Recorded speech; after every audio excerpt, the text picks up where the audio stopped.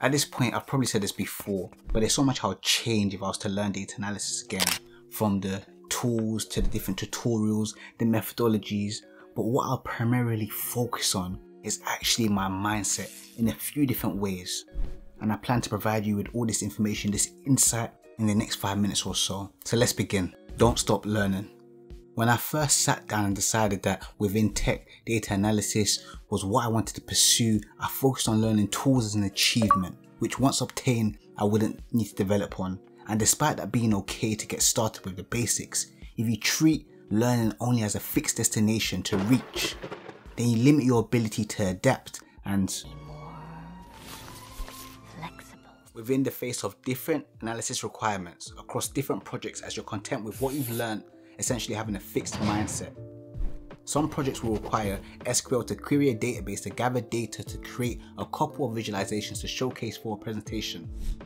Another project may require the same amount of SQL knowledge, but the difference being the client now wants a live dashboard instead and wants you to set it up. Just that small intricacy could have you puzzled if you weren't willing to learn the additional features on a tool like Power BI, like Power BI Service. Different projects will require completely different tools, styles of analysis, domain knowledge, sometimes even things you don't believe you should have to do as a data analyst like helping scale a database. I recently used this clip from a Bruce Lee interview and honestly apply so well here. Be adaptable, be formless, be like water, keep learning.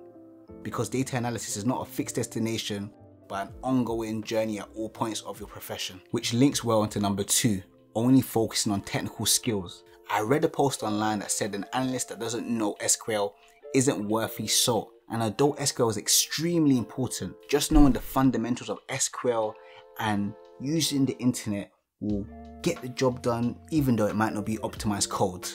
What you actually find being the bigger problem when trying to query data is that no one actually knows where the data is to start with.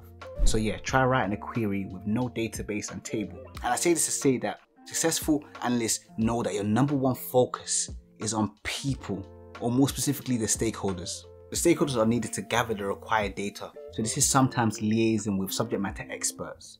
The stakeholders are also the ones with the problem, so your analysis is what you're going to be using as an output to solve their problem. This is usually provided to them in the form of reports, dashboards, and presentations. And most importantly, the stakeholders are who you're going to be providing insights and data-led recommendations based on your reports, dashboards, and presentations, which usually roots back to three things for stakeholders to make money, save money, or save time, which are all forms of value. So you can have all the technical skills in the world, but what you're on the hook for is interpreting those technical skills and the understandable value for people of any background. And if you can't do that, then your value, your full potential might not ever be perceived. And speaking of value, successful data analysts see the value in design. So don't neglect design. On screen I have two pie charts, A and B. Which one do you believe is more suitable to present to a client?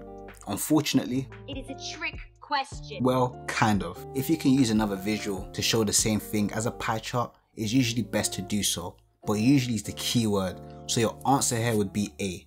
With B, you simply cannot tell what's going on. The story continues with the creation of dashboards. Many a dashboard have been used for just a week or so and then abandoned, left to free fall into what I like to call dashboard hell because they're just not useful to anyone. They usually follow the themes of not being appealing, the wrong visuals are used, it's overly complex, or it's just way too slow to use. So let's avoid that. Earlier this week, I was part of a workshop where one of my clients had a web page that had a high click through rate but also a high bounce rate, so less than ideal. One of the contractors mentioned a book called Don't Make Me Think and mentioned how implementing some of the content within this book would help increase the usability of the website so should inversely decrease the user bounce rate, which made me think. When creating dashboards, people should be at the heart or the focus of the decisions made. Creating good dashboards that actually provide value takes a lot of design work to ensure both the functional and non-functional requirements of your stakeholder are actually met. Starting with the initial design wireframe, considering optimization of your query and then the schema style for the underlying data that you'll use feeding into the dashboard, then creating multiple iterations based on feedback and then finally having a production ready dashboard ready for deployment. Rome wasn't built in a day, and your dashboard shouldn't be either. So don't neglect design, embrace it. Don't do this. What kind of place is this? That's all, folks. Actually, a word before you leave. This part wasn't planned, so excuse the lack of conciseness or editing here. But data analysts, successful ones, avoid analysis paralysis, which is where you go overboard with your analysis, which leads you to not being able to make viable decisions. So this is going too much into your technical work. So let's say an over optimization of queries, or maybe even just looking for additional data sets to solidify your analysis, which in actuality is not actually going to change the recommendations and insights provided to your client or stakeholder. And this is not great because you avoid getting to the end output, to what you're on the hook for, to the actual scope of the project. And you don't want to lose your job over that, which actually links directly to the final point. A great data analyst has already analyzed and assessed the risk of losing their job to AI.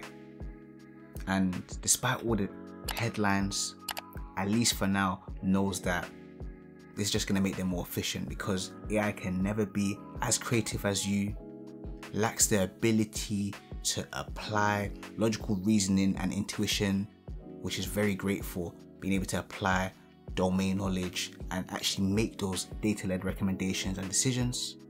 And then finally, AI will never and can't be you. Now, those are my thoughts. So, if you like the video, then therefore leave a like. If you dislike the video, then press the dislike button. Press it twice, please. And if you want to follow up part of this video, then in the comments write so unorthodox. In the meantime, have a look at these two videos here. I'm sure they'll provide, provide you some value. And until next time, stay blessed, take care, and peace.